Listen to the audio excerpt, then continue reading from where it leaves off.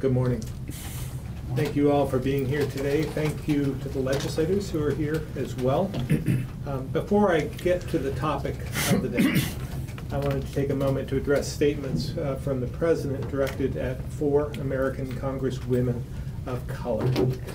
Like many across the country, I find these statements offensive, racist, and certainly not what we expect from the leader of the greatest country in the world. Words matter, and we've seen this same rhetoric used throughout history to discriminate, degrade, and divide. Now, more than ever, is a time for all of us to realize our kids are watching what we do and listening to what we say. They are learning from us, and they want to be just like us. What they need to know is that racism and hate speech are unacceptable, which is why it's important to call out these statements for what they are. My hope is this, that this can be a teaching moment, to show people that words matter. And if you've had certain life experiences, words may mean something different to each of you than they do to someone else. We all need to learn from this and work to do better, healing divisions and valuing someone else's experience. That's how we should approach this. And I hope those in Washington can use this to educate people on how to do better. Not make it about politics or partisanship. It's time for the White House, the President, and Congress to stop the back and forth, stop the fighting, and find a way to work together to solve the problems everyday Americans face. Now, I recognize this is a bit of an awkward transition, but we're here today to discuss a slate of new initiatives on higher education. As I've said many times, we have a good education system in Vermont that I believe we can make the very best by creating a cradle-to-career system that gives all Vermonters the skills they need to find a good job. If we can, it will be the very best economic development tool we could ask for. To get there, we must continue to make investments in early care and learning, as well as higher and continuing education. This is why I propose increased investment in both areas, and I'm thankful for the legislature's partnership on many of these initiatives. On the higher education side, this includes an increase of two and a half million to the state Vermont State Colleges, an increase of 500,000 to VSAC's non-degree grant program, an initiative to identify how we can offer associate degree programs through CTE, or tech centers, as well as workforce training programs to help more Vermonters earn a credential for an apprenticeship. And we've also launched a new marketing partnership to help attract and keep students right here in Vermont through a scholarship program. Matthew Derr from the Association of Vermont Independent Colleges will share more on this in a moment, but I'm pleased to have recipients Kelsey True and Brandon Ryan here with us today. As we work to grow our workforce and help Vermonters earn their careers, our higher education system, which includes two and four-year programs as well as trades training, plays a critical role. We're also relying on state colleges and universities to help reverse our demographic trends. I often talk about demographics, and every day we see a new sign of the impact it has on us. Just last week, a major bond rating agency downgraded our state in part because of our shifting demographics. I have to note, however, we still enjoy the second highest rating and that's in large part because of the work we're doing to address these challenges, and we must ensure it doesn't slip further. I've said for a long time uh, that we can use our colleges and universities to help keep their graduates here. At the same time, we must acknowledge our population trends are also having an, an impact on these very same institutions. Just like our K through 12 schools, our state college system is seeing fewer students. And when you think about it, it makes sense.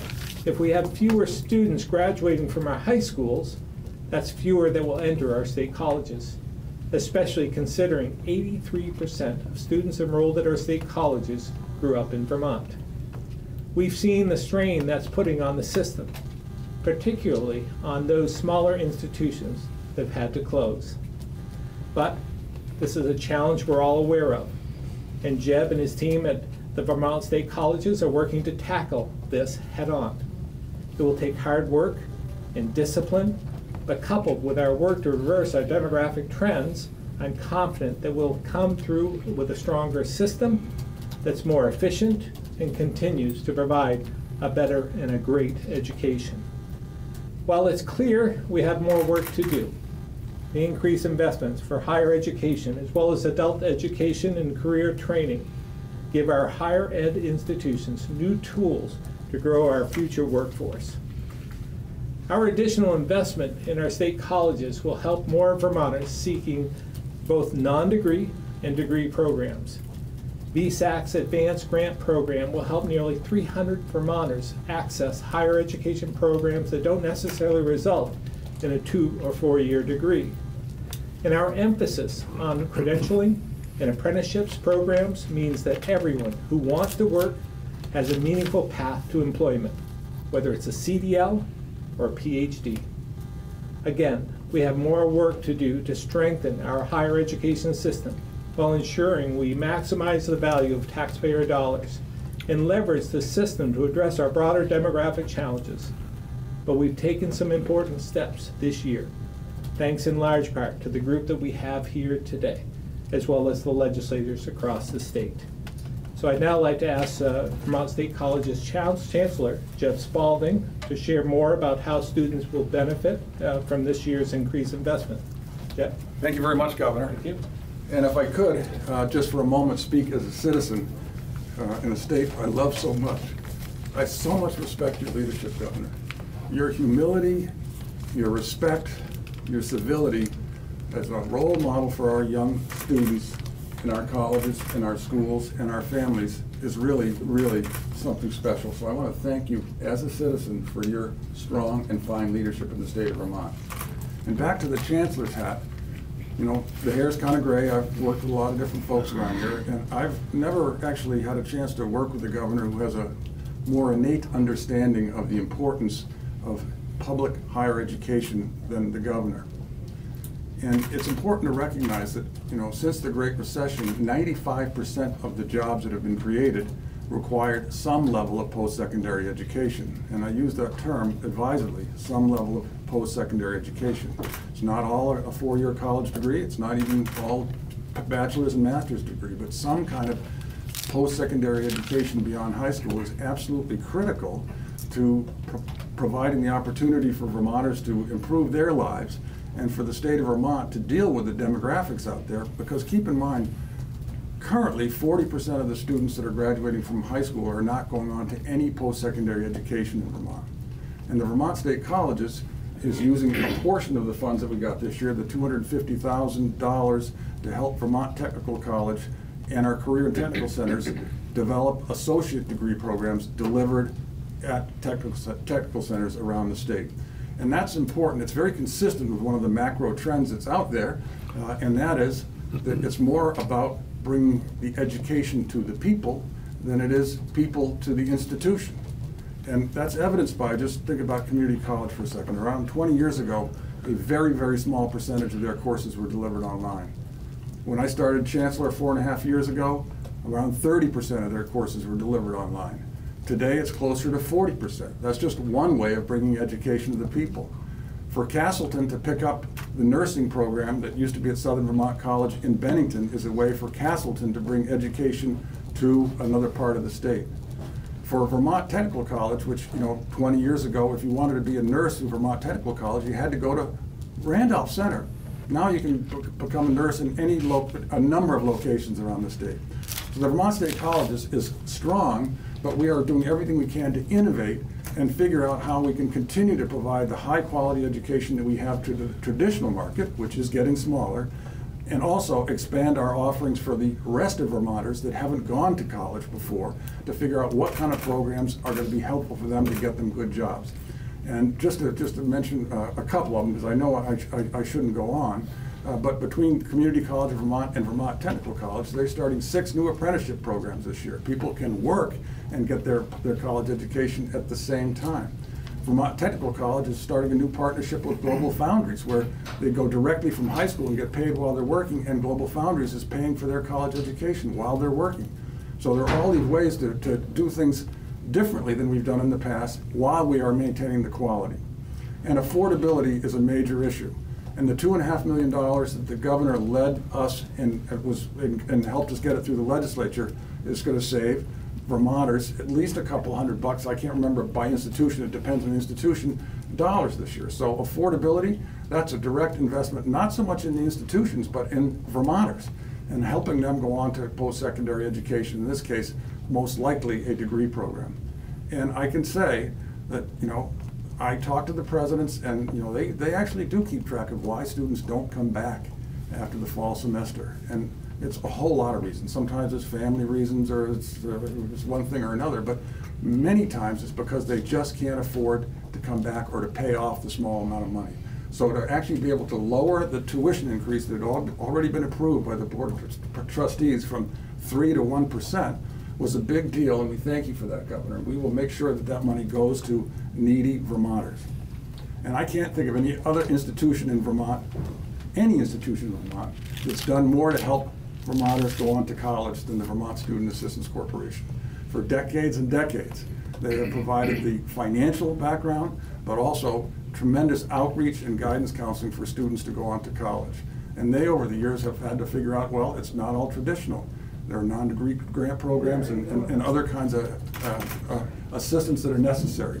And so I think it's time for me to turn over the podium to Tom Little, representing the Vermont Student Assistance Corporation, to talk about the $500,000 that was in the budget. Tom. Thanks, Jeb. Good morning again, and I, uh, as uh, the Chancellor said, I would echo his uh, response to the governor's remarks, uh, having lived through the tumult and shouting of the 2000 legislative session where we enacted civil unions law uh, and survived that. Um, I think I would hope that others can learn from our experience there and uh, track back to civility and actually getting things done. Um, Thank you, Governor, for your leadership in post-secondary education and training and in workforce development. The VSAC non-degree grant program, which the General Assembly has now renamed the Advancement Grant Program, provides adult Vermonters the oppor- opportunity to pursue training and credential programs that build job skills needed for a variety of industries and occupations. Nearly every conversation about the economic future of our state begins and ends with the need for more people in the workforce. This will make a difference in helping more people pursue education and training opportunities outside the traditional college track and earn credentials too. This $500,000 one-time appropriation means an additional 300 Vermonters will be able to upskill their careers, and it represents a 25% increase to the program. Too often, the needs of adult learners who need education and training to better support themselves and their families get overlooked. The advancement grant is a proven way for low-income adults to obtain employment and higher wages. You may not know it, but Vermont's non-degree program was the first in the country when it started in the midst of a recession in 1982. Over the last 37 years, more than 38,600 non-degree grants have been awarded, and the demand has nearly doubled over the last decade. In fact, Vermont has helped over 14,600 Vermonters with $25 million in non-degree and advancement grants in the last 10 years. And we know that it works. Nearly 70% of the adults who were unemployed prior to using their non-degree grant were employed or in school after using their grant and completing their studies. These Vermonters are getting training in computer programming, applications, website design, business leadership, healthcare professions like nursing, dental assistants, billing and coding, trade careers, in the wellness field and early childhood development and education, to mention a few. These are Vermonters like Megan Luia, a single mom of two who works part-time and goes to school full-time. She's just graduated from, uh, with honors from Vermont Technical College with her practical nurse certificate. Next up, she takes her license exam and wants to pursue a bachelor's degree and become a registered nurse, and maybe even go on to become a nurse practitioner. We'd also like to thank you, Governor, and the legislature for this one-time funding to the Advancement Grant Program. Adult learners often need different career and education options. Their financial and family needs are unique. It's not one size fits all, and this program makes it possible to take the next steps in their career. VSAC is hopeful that this funding will become permanent. We're also proud to have joined with the administration in this inaugural year of the Choose Vermont Scholarship Program by funding a $5,000 scholarship. We have great colleges here, and every year some 20,000 students from other states come here to study. The Association of Vermont Independent Colleges provided funding for the second $5,000 scholarship, and Sterling College President Matthew Derr is here today representing AVIC. The association seeks to strengthen the quality of higher ed in Vermont and to increase accessibility to the broad, a broad range of students and foster cooperative efforts among its member institutions and all segments of higher education. They're dedicated to expanding the capacity of Vermont's independent educational network and attracting students who will contribute to the state's future workforce, as well as the economic, civic, and cultural life and vitality of Vermont. President Derr. Good Morning. There are 44,000 college students in Vermont. And it's a pleasure to have the opportunity to collaborate and, and work with a governor who understands that that number should go up. And that we're delighted with the economic impact that higher education has as a whole here in the state of Vermont, with 11,000 Vermonters working in higher education. And that's a number we'd also like to see go up. What I find really remarkable about higher education in Vermont is the degree of collaboration across the institutions, private and public, land-grant universities, law schools, liberal arts colleges, colleges focused on ecology, technical colleges. For a small state to have the array of colleges Vermont has is really remarkable, and that is sustainable in part because of the ways in which we work together. We make Ver Vermont a vibrant state. We contribute to the cultural offerings of the state, the sustainable growth of our economy, and a, a, a compelling ecologically based uh, working landscape. We're delighted to be able to partner as the Vermont Independent Colleges with our colleagues at the state colleges, at the University of Vermont, and with the governor's office to have this inaugural celebration of the Choose Vermont Scholarship. Our work with VSAC across those institutions is critical to the way in which we draw students to Vermont. Of those 44,000 students, more than half of them come from outside of the state. To be able to partner on this kind of project, to bring attention to the opportunity to study at one of the remarkable colleges in Vermont is something uh, that we appreciate and that we want to, to celebrate with you. But of course, we are 11,000 Vermonters working on behalf of students and the well-being of students. And I'm delighted that we have two students who will be uh, here at Vermont colleges this next year. I'm delighted to introduce Kelsey True from Old Saybrook, Vermont, who will be studying, uh, I'm sorry, Old Saybrook, Connecticut. wow, and I used to live nearby there. Welcome to Vermont. Thank you. Uh, who will be studying nursing at the University of Vermont. And Brandon Ryan, who is from Randolph, who will be studying political science at, at Castleton uh, University. Delighted uh, to be able to acknowledge them and look forward to their studies here in Vermont. And as Vermont needs more nurses, and I would dare say needs more people understanding politics, uh, would uh, benefit from, from um, Brandon's work uh, here too. And just to conclude, um, the voice of the governor in making Vermont a welcoming place to come to college is incredibly important. Um, and so his comments at, at the top of this uh, press conference are important to the ability of the state to uh, attract students here. Um, so um, thank you for, for that work, and we are proud and, and delighted to, to have you at, at Vermont colleges. Thank you.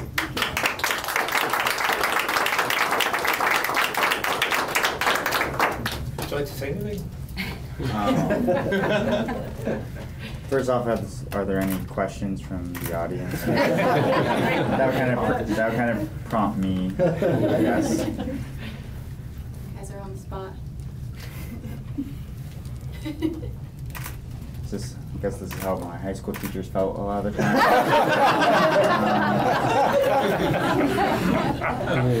well, first off, I think I'd just echo everyone with um, echo the governor at the beginning of this conference and how he is trying to make Vermont a more welcoming place and such like many high schools around the area are also trying to make Vermont a more welcoming place for their students so then hopefully they will be able to be encouraged to stay in Vermont.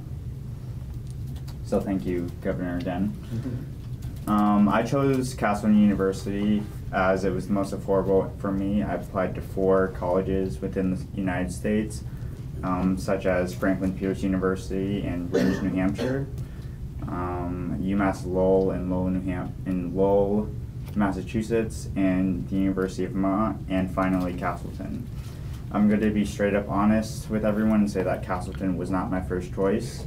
I feel like the youth that are growing up in Vermont face a lot of challenges nowadays, and also Vermont being as small and secluded as it is within the other big states, that a lot of youth in Vermont want to try and get out and see the world. But also, what I find with that is that a lot of time they come back to where their home is. With that being said, I choose I chose to stay in Vermont because of the affordability and because my comfortability around Vermont and its places. I just had registration at Castleton and I talked to a lot of out of state people and they're saying that Castleton was most affordable for them with being an out of state cost and that they liked the vibe that they got from also the Castleton University campus and the other campuses around Vermont. So I feel that our education system is doing very well in doing in preparing college students for the next years college. Kelsey, anything you want to add? Um, I'd just like to thank everyone who made the scholarship possible. I really appreciate it a lot. And then go on to what he said. Um, I chose Vermont because of the high quality of education, um, the beauty of our natural surroundings, and then the fact that there's a hospital right on campus was really important to me. So, thank you. Any questions for either one of them?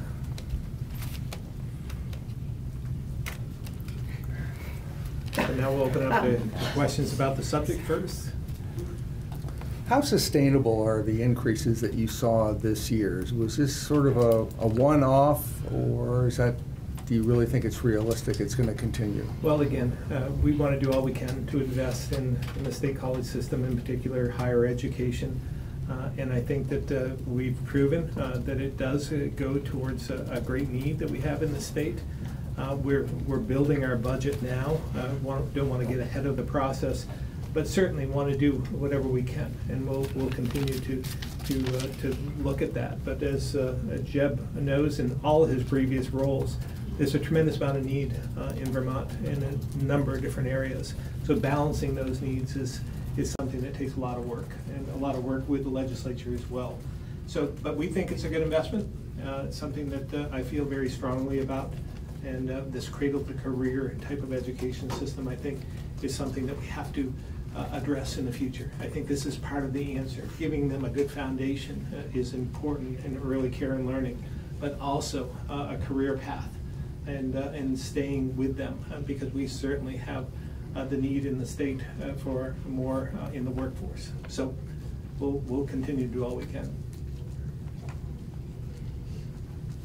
Do you think of, I think New York State has free college tuition or some program along those lines. Do you ever think that that's in Vermont's future? Well, again, we'll do all we can. I do think, uh, personally, I do believe there has to be an investment on both sides. I think it has to mean something, uh, and, uh, and it makes it more meaningful uh, when you have to invest yourselves uh, in, uh, in whatever you're, you're uh, trying to, uh, to, to follow. Uh, So I think it's, it's meaningful uh, when you have some skin in the game, so to speak.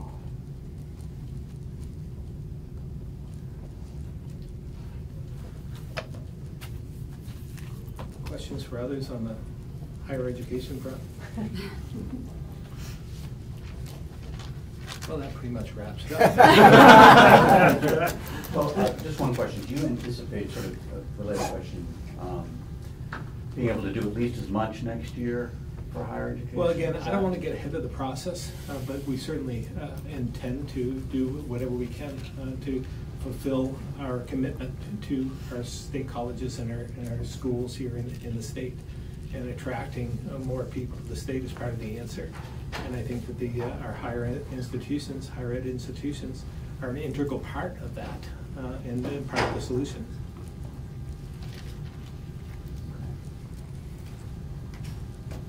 So, at this point in time, I'm sure there's other questions. If you, uh, you feel free uh, to uh, meander away from the limelight. You're welcome to- You're welcome to stay as well, whatever you're comfortable with.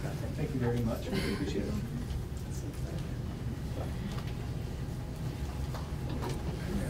Have you shared your thoughts that you started with, with the other Republican governors or any other Republican officials Yeah, around the you're the first uh, to hear this. Uh, Obviously, it's something that uh, thought a lot about it over the last couple of days, uh, and more than that, uh, to be honest with you. It's something that I've talked about over the last uh, year or so. I think that words do matter, and I think we need to be better role models, uh, each and every one of us, and we all have an obligation to do so. And uh, those words um, are are perceived, uh, from my standpoint, as, uh, as being racist. Uh, And if, uh, if it's for other purposes, uh, it's equally as bad. Uh, Four Republicans in the House of Representatives last night voted to condemn four. What do you say to the Republicans in Congress who have been reluctant, shall we say? Well, to do what you're again, I think you should, you should call it for what it is. I think it's important for each and every one of us uh, who are elected and otherwise. It doesn't have to be just elected uh, positions. I think we all have a, an obligation to step up and call it out for what it is. But at that point, uh, and again, uh, from what I've seen over the last couple of days, um, we have a lot of problems to address. Uh, The border crisis, uh, southern border crisis is one. Uh, The detainees there need our attention. Congress needs to help solve this. And so, instead of spending a lot of time uh, debating on a resolution when they have all the forums in the world, they have the press there, and I've seen a lot of the statements, make the statements but get back to work, get to work on solving some of the issues that, that we're facing here in this country. But I mean, do you think that the Republicans' uh, reluctance to challenge this president encourages this president do more of what you're objecting to? Well, again, I, you know, whether this is racist remarks uh, or whether they're a, strategy uh, for the next election, uh, I think both are equally uh, as condemning, and, and I believe that we should do better. We, we, we are better than this, and this just further divides us as a nation. And what we should be doing right now is pulling together to unite us in a common goal, common front. And, uh, and that's what's, you know, it's, it's disappointing, it's discouraging, uh, but we need to rise above this, and we need to do better. And I think you said at the outset, you found those comments to be racist.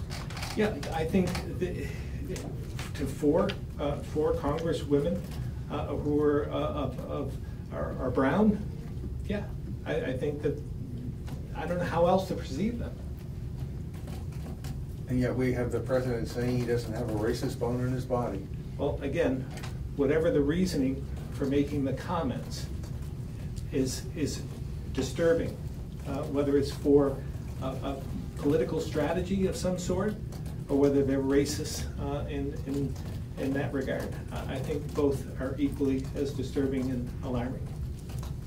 And we should, again, we should realize that words matter, and how they're received matters. So we can do better, and we should be doing better. You said the comments are racist. Do you believe the president is racist? I don't know him well enough, uh, again, to know whether they were uh, racist and that's the way he feels. Um, But, uh, but again, does it really matter? You know, the, the words are there. So uh, whether it's, it's it's something that he believes or something that he's using for a political strategy, both are equally, equally bad from my standpoint. I mean, from your position as, well, I don't know how many there are, one of the nation's Republican governors, talking about these comments from the Republican president, and do you feel you're leading? Uh, There hasn't been, four- what Stuart said, four people, four, four Republicans in the House voted against the resolution, or four, I'm sorry, four of the resolution. Uh, Do you feel you're leading the GOP on this, or helping to I- lead I'm not, it? I'm not trying to lead the, the GOP on this. I, I'm trying to uh, stand up for what I believe and what I think is uh, necessary for us to move beyond this. And, and we should be, again, uh, thinking about our actions, our words, uh, our respect, our civility. Uh, We should be doing better as leaders. Um, And, and again, in our own daily lives, each and every one of us. Uh, I think racism is learned behavior. And, and I believe that they, uh, that isn't something that's, that's part of our DNA. It's something that we learn. So we can teach better. We can be better role models in this regard. And, and uh, again, I think this country is better than this. I think we have an opportunity uh, to unite and to, to prove uh, that we are the greatest nation in the world. What are your thoughts about Rebecca Holcombe, uh, especially saying that policies of your administration really benefit wealthy people? Well, I just, I, I'm not sure how to take that, to be honest with you. I, I think that uh, I've proven over the last three years uh, that I'm trying to make Vermont more affordable for everyone. Uh, And, uh, and I believe that uh, we've done, we've taken a lot of steps forward in that regard. Uh, No taxes and fees in the first two years, uh, doing whatever we can to help uh, low and moderate income Vermonters with social security and so forth. I, I, I think we've taken a lot of steps in trying to make Vermont more affordable. We have a long ways to go. It's not, it's not to the, to the level that I think it should be. Uh, I think that we can, uh, we can do more and we'll continue to do uh, all we can to make Vermont more welcoming, more, more affordable and more attractive. Are you going to run for reelection? You can Um, tell us here now. We'll, we'll wait uh, until after the legislative session. We have a long ways to go. Like I keep saying, it's been about seven months since I was sworn in. Uh, I think I should at least get through the first year uh, before we have that conversation. You're still enjoying the job, right? You're Yeah. saying, I- I you're itching to do something different? I, we're doing some good work. I have a good team, and, and I believe that, uh, uh, that we'll, we'll be able to benefit, uh, from some of the initiatives that I'll put forward, some of the initiatives that the legislature has come up with, and, uh, working together and trying to make Vermont, again, a better place. What do you think just generally about uh, Holcombe entering the race? Well, I think it's not a surprise uh, to me. I've heard uh, the rumblings for uh, quite some time, so uh, I, you know, I, I think it's great. Uh, I welcome, I welcome her to the race, and we'll, uh, I, I would expect that there'll be uh, more uh, candidates uh, for governor before this is all over. Think she was a okay education secretary? Well, obviously, uh, I, uh, I chose her to stay on from the previous administration for a variety of reasons, and, and I like her personally. And uh, we'll, we'll see how things go from here. Speaking of your team, you have some vacancies. Uh, uh, Fast approaching, a couple of commissioners.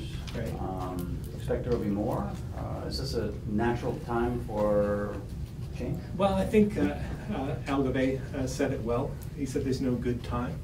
And, uh, and he, uh, he chose the opportunity uh, in a non-election year uh, in the summer uh, to make, uh, to make his decision. So uh, I, I hope there's no more. I don't anticipate there to be any more. But, uh, but I think uh, the, uh, the one that was just announced yesterday with Commissioner Anderson, I think he did it for all the right reasons. Family comes first, no matter what. And from what he, he sat down with me to talk about his wife.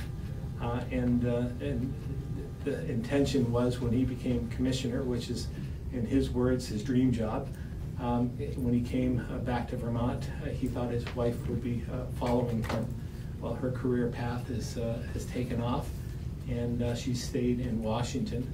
Uh, So now he had to make a decision, and she's given him so much over the last two or three decades that he felt the need to give back. And, and so, you know, it's just, it says a lot about his character and his integrity and what I like about him. So, uh, so I think he did it all for the right reasons. Disappointing as it may be for us and our team, uh, he did it for the right reasons. I understand that there's some members of the St. Albans Co-op who are a little concerned that they may be asked to vote on their future without really knowing what their equity is and the circumstances, all the financial information that they need. Are you aware of that? Is there a role the state is playing in this? Well, I, I don't know, I've been, um, been brought, uh, uh, debriefed on that, uh, on, or briefed on, on the situation by the co-op board. Uh, I think that they have voted as a board uh, to move forward, and uh, I think it's their obligation at this point uh, to, to educate their members as to what it means. So this is a co-op, Uh, it's, they're in charge, this is part of what a co-op is. So I think uh, if the members don't feel as though they have enough information, they should certainly ask.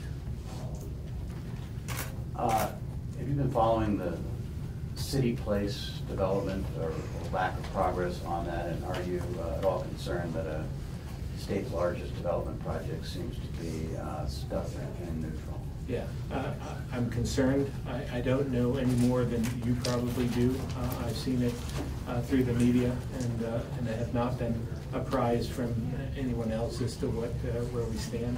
Uh, But it is concerning. Uh, We need to, again, move forward. It's always great to see uh, construction activity and it's long overdue in that area. So I know the mayor is concerned about this and, and I expect from what I've read that they'll have some more information, hopefully this week, about what direction they're going.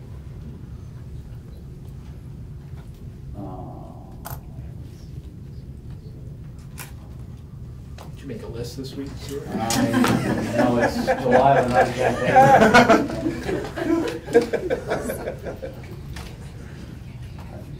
All right.